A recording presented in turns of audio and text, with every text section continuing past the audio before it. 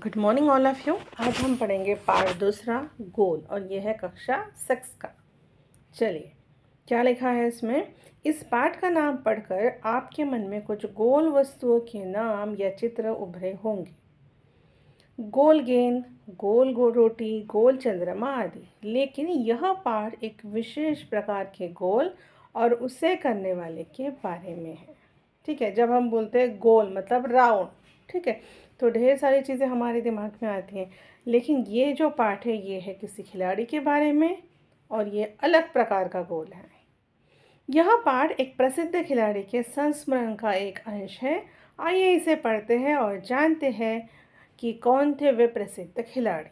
ठीक है तो सबसे पहले हम लोग खिलाड़ी के बारे में पढ़ लेते हैं।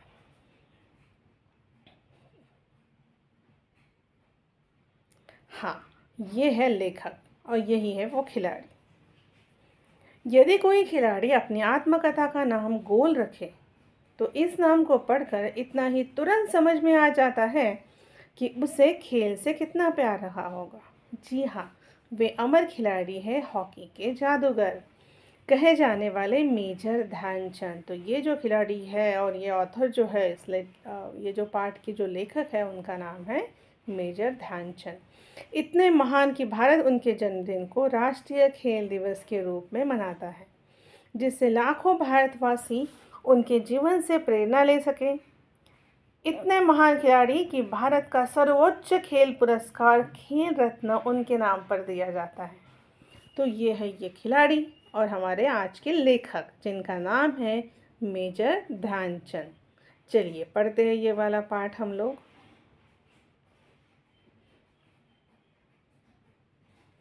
खेल के मैदान में धक्का मुक्की और नोक झोंक की घटनाएँ होती रहती है।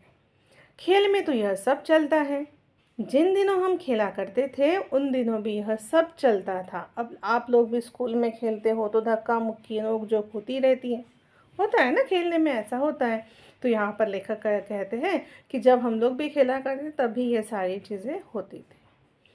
सन 1933 की बात है। उन दिनों में पंजाब रेजिमेंट की ओर से खेला करता था। ये ध्यान में रखना 1933 और कहाँ पे खेला करते थे, कहाँ से खेला करते थे वो? पंजाब रेजिमेंट की ओर से। एक दिन पंजाब रेजिमेंट और सैम्पल्स एंड माइनर्स टीम के बीच मुकाबला हो रहा था। दो टीम थी, एक है पंजाब रेजिमेंट, जिसमें हमारे खिलाड़ी थे, हमारे लेखक, और दूसरी कौन सी टीम थी? Sappers and miners team. ठीक है। माइनर्स टीम के खिलाड़ी मुझसे गेंद छीनने की कोशिश करते लेकिन उनकी हर कोशिश बेकार जाती। अब ये जो हमारे लेखक है, ये क्या खेलते थे? हॉकी। ठीक है। तो अब ये जब मुकाबला चल रहा था तो जो आगे वाली टीम थी, माइनर्स टीम, उसके खिलाड़ी क्या करते थे? उनसे गेंद खेलने, छीनने की कोशिश करते थे, लेकिन हर कोशिश उनकी बेकार जाती। इतने में एक खिलाड़ी ने गुस्से में आकर हॉकी स्टिक मेरे सिर पर दे मारे। अब देखो, वो लोग बॉल ही नहीं छीन पा रहे थे मेजर ध्यानचंद से। ठीक है, इसलिए उस, किसी खिलाड़ी को गुस्सा आ गया। उसने गुस्से में आकर एक हॉकी स्टिक क्या किया? यस, लेखक के सिर पर दे मारी। मुझे मैदान से बाहर ले जाया गया। थोड़ी देर बाद मैं पट्टी बांधकर फिर मैदान में आ पहुँचा। देखो, सिर पर लगने के बाद भी पट्टी वट्टी बांधकर वो फिर से आ गए आते ही मैंने उस खिलाड़ी के पीठ पर हाथ रखकर कहा, तुम चिंता मत करो, इसका बदलाव मैं ज़रूर लूँगा। क्या कहा उन्होंने? मेजर ध्यानचंद जी ने उस खिलाड़ी को कहा कि तुम चिंता मत करो, मैं ना ये इसका बदला लूँगा। बदला मतलब रिवेंज इतना कहते ही वह खिलाड़ी घबरा गया। अब हर समय मुझे ही देखता रहता कि मैं कब उसके सिर पर हॉकी स्टिक मारने वाला हूँ। अब देखो, पहले लेखक ने उसे बोल दिया था कि मैं बदला लूँगा तो खिलाड़ी डर गया। उसको लगा कि अभी ये भी मुझे मारेगा। मैंने एक के बाद एक झटपट छह गोल कर दिए। कितने गोल किए? छह गोल। खेल खत्म होने के बाद मैंने फिर उस खिलाड़ी की पीठ थपथपाई और कहा, दोस्त, खेल में इतना गुस्सा अच्छा नहीं। मैंने तो अपना बदला ले ही लिया है। अगर तुम मुझे हॉकी नहीं मारते तो शायद मैं तुम्हें दो ही गोल से हरा था। क्या कहा लेखक ने? लेखक ने कहा कि इतना गुस्सा खेल में अच्छा नहीं है। अगर तुम हॉकी नहीं मारे थे तो मैं तुम्हें सिर्फ़ दो गोल से हरा था अब कितने गोल से हराया था छः गोल से।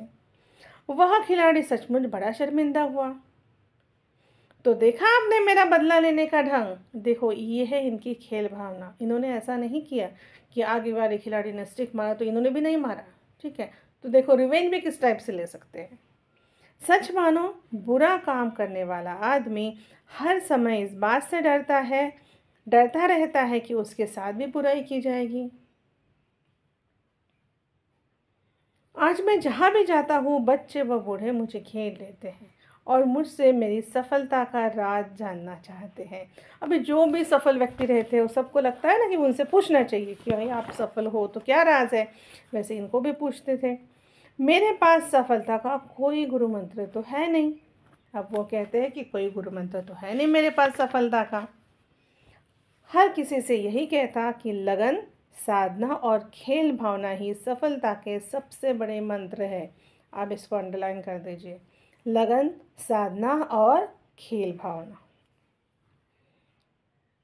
मेरा जन्म सन 1904 में प्रयाग में एक साधारण परिवार में हुआ। बाद में हम झांसी आकर बस गए। सोलह साल की उम्र में मैं फ़र्स्ट ब्राह्मण रेजिमेंट में एक साधारण सिपाही के रूप में भर्ती हो गया। जन्म कब हुआ उनका? 1904 में, प्रयाग में, फिर वो लोग कहाँ पर आकर सेटल हो गए? झांसी। और वो सिक्सटीन ईयर के थे, तभी एक सिपाही के रूप में भर्ती हो गए, फ़र्स्ट ब्राह्मण रेजिमेंट में। ठीक है, मेरी रेजिमेंट का हॉकी खेल में काफ़ी नाम था, पर खेल में मेरी कोई दिलचस्पी नहीं थी। मतलब उन्हें कोई इंटरेस्ट नहीं था उस खेल में, हॉकी के खेल में। उस समय हमारे रेजिमेंट के सूबेदार मेजर तिवारी थे। अब उनका जो रेजिमेंट है, उनके सूबेदार थे मेजर तिवारी। वे बार बार मुझे हॉकी खेलने के लिए कहते हमारी छावनी में हॉकी खेलने का कोई निश्चित समय नहीं था। सैनिक जब चाहे मैदान में पहुँच जाते और अभ्यास शुरू कर देते। कोई टाइमिंग फिक्स नहीं था। जब सिपाहियों को लगा कि खेलना चाहिए तो जाते और प्रैक्टिस करते। अभ्यास करते मतलब प्रैक्टिस उस समय तक मैं एक नव सिखिया खिलाड़ी था। ठीक है मतलब नया नया गेम सीखने वाला खिलाड़ी। जैसे जैसे मेरे खेल में निखार आता गया वैसे वैसे मुझे तरक्की भी मिलती गई। जैसे जैसे ना उनका गेम इम्प्रूव हुआ, वैसे उनको प्रमोशन भी मिला। सन 1936 में बर्लिन ओलंपिक में मुझे कप्तान बनाया गया था। अब 1936 में बर्लिन में जो ओलंपिक हुआ था, उसमें वो कौन थे? कैप्टन। उस समय मैं सेना में लांस नायक था। बर्लिन ओलंपिक के लोग मेरे हॉकी खेलने के ढंग से इतने प्रभावित हुए कि उन्होंने मुझे हॉकी का जादूगर कहना शुरू कर दिया। अब देखो, बर्लिन ओलंपिक में जो भी लोग खेलने, खेल देखने के लिए गए थे, उन्होंने देखा कि ये कैसे खेल खेलते हैं हमारे मेजर ध्यानचंद। तो उन्होंने क्या कहा? उन्होंने वो इतने प्रभावित हुए उनसे कि उन लोगों ने मेजर ध्यानचंद को हॉकी का जादूगर कहना शुरू कर दिया। ऐसा क्यों कहा? क्योंकि पता है, उनकी जो हॉकी स्टिक रहती ना, उसको बिल्कुल बॉल चिपक के रहता था। बहुत से लोगों को ऐसा लगा था कि इनकी हॉकी स्टिक में कुछ मैग्नेट मैग्नेट तो डाला नहीं है, ऐसा तो नहीं है, वो भी उन्होंने चेक भी किया था हॉकी की स्टिक उनकी। इसका यह मतलब नहीं कि सारे गोल मैं ही करता था। अब देखो, ये एक मेन चीज़ है। क्या कहा इन्होंने?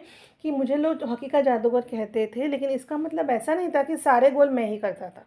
अब देखो, वो क्या करते थे? वो ग्रुप में हर किसी को इक्वल चांस देते थे, ठीक है? मेरी तो हमेशा यह कोशिश रहे थी कि मैं गेंद को गोल के पास जा, ले जाकर अपने किसी साथी को दे दो, ताकि उसे गोल करने का श्रेय मिल जाए। देखो, कितना अच्छा एटीट्यूड है, कितनी अच्छी खेल भावना है, देखो उनका। अब एक्चुअली उनकी जगह पे कोई होता तो क्या करता? चलो, मैं ही सारे गोल कर लेता हूँ करेक्ट लेकिन वो क्या सोचते थे कि सब लोगों को चांस मिलना चाहिए। इसलिए वो गोल के पास गेंद लेकर जाते थे, दूसरे खिलाड़ी को दे देते थे, ताकि उसे गोल करने का श्रेय मिल जाए। उसके नाम पर भी लिखा जाए कि भाई, इसने इतने गोल किए। अपने इस खेल भावना के कारण मैंने दुनिया के खेल प्रेमियों का दिल जीत लिया और यही इनकी खेल भावना थी जिसकी वजह से लोग इम्प्रेस हुए थे। बर्लिन ओलंपिक में हमें स्वर्ण पदक मिला, स्वर्ण पदक गोल्ड मेडल मिला। खेलते समय मैं हमेशा इस बात का ध्यान रखता था कि हार या जीत मेरी नहीं, बल्कि पूरे देश की है। ये जो क्वालिटी है ना, ये क्वालिटी होती है लीडर की, कप्तान की। वो कप्तान थे तो वो सबको इक्वल चांस देते थे और वो ध्यान रखते थे कि हारना या जीतना ही ये नहीं है।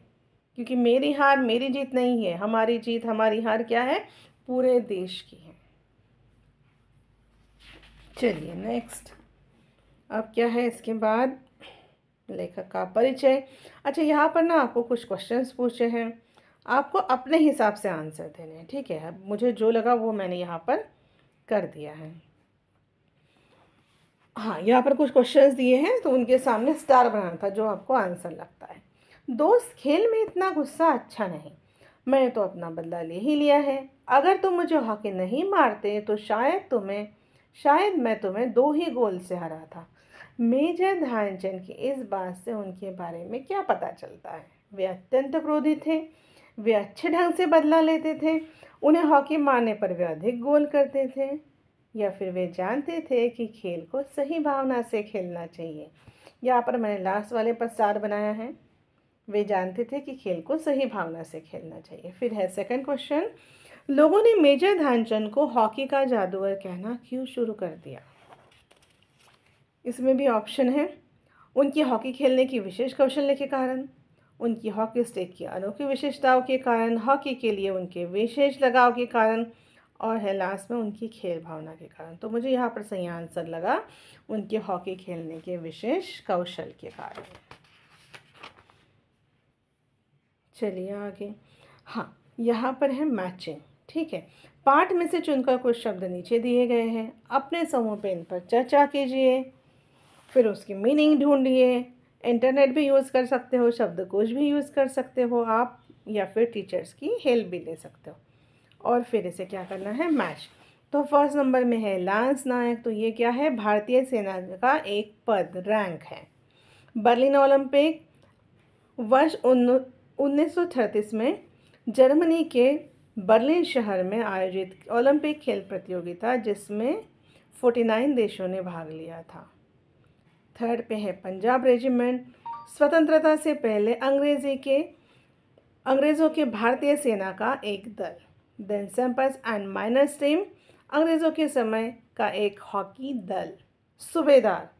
स्वतंत्रता से स्वतंत्रता से पहले सूबेदार भारतीय सैन्य अधिकारियों का दूसरा सबसे बड़ा पद था। देन लास्ट छावनी। सैनिकों के रहने का क्षेत्र। अब यहाँ पर ना कुछ कुछ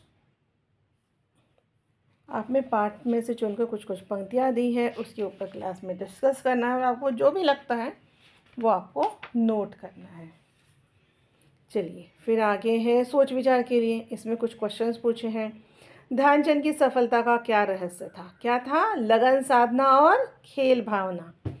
फिर है, किन बातों से ऐसा लगता था कि ध्यानचंद स्वयं से पहले दूसरों को रखते थे? याद करो, मैंने बताया था इसका आंसर बराबर है। उसका आंसर क्या था कि वो क्या चाहते थे कि वो अकेले ही गोल ना करे। इसलिए वो क्या करते थे? गोल के पास गेंद लेकर जाते थे और दूसरे खिलाड़ी को दे देते थे, ताकि उसके नाम पर भी कुछ गोल हो जाए। ये है इस ये जो इंसिडेंट है, इसमें हमें समझ में आता है कि ध्यानचंद स्वयं से पहले दूसरों को रखते थे। और एक चीज़ थी कि वो हार जीत के बारे में मेरी या, मेरी हार या मेरी जीत नहीं सोचते थे, वो पूरे देश के बारे में सोचते थे। चलिए आगे। हाँ ये देखिए, शब्दों के जोड़े विभिन्न प्रकार के। तो सबसे पहले ये क देखते हैं। अब यहाँ पर देखो, यहाँ पे एक वर्ड लिखा है, जैसे जैसे। उसके बीच में एक डैश है, उसे कहते हैं योजक चिन्ह। ठीक है? जैसे जैसे मेरे खेल में निखार आता गया, वैसे वैसे मुझे तरक्की मिलती गई। अब यहाँ पर है जैसे जैसे, वैसे वैसे। सेम वर्ड है, दो बार आया है। ठीक है? इसे कहते हैं शब्द युग्म। ठीक है। और दो शब्दों के बीच में छोटी सी रेखा दिए हैं, इसे कहते हैं योजक शब्द। अब आपको भी ऐसे पाँच शब्द लिखने हैं, ठीक है? चलिए फ़र्स्ट कभी कभी दिन रात रात, हम लोग बोलते मैं रात रात भर जाकर मैंने पढ़ाई की। दिन घर घर, फिर है कन कन, फिर अभी अभी, ठीक है? फिर ख खेल के मैदान में धक्का, मुक्की और नोक झोंक की घटनाएँ होती रहती हैं। अब इसमें देखो कौन से वर्ड आए हैं। धक्का, मुक्की और नोक झोंक अब यहाँ पर भी शब्दों के जोड़े आए हैं, लेकिन ये दोनों शब्द कैसे हैं? अलग अलग है भिन्न भिन्न है। चलो, अभी ऐसे ही लिखने हैं हमें, जैसे। पहला लिखिए उल्टा पुल्टा फिर अनाप शनाप पानी वानी झूठ मूठ चलिए, और क्या है?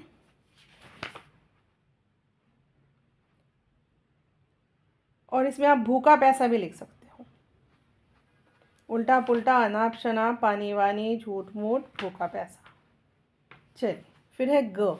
हार या जीत मेरी नहीं, बल्कि पूरे देश की है। अब यहाँ पर भी दो शब्द हैं, हार या जीत।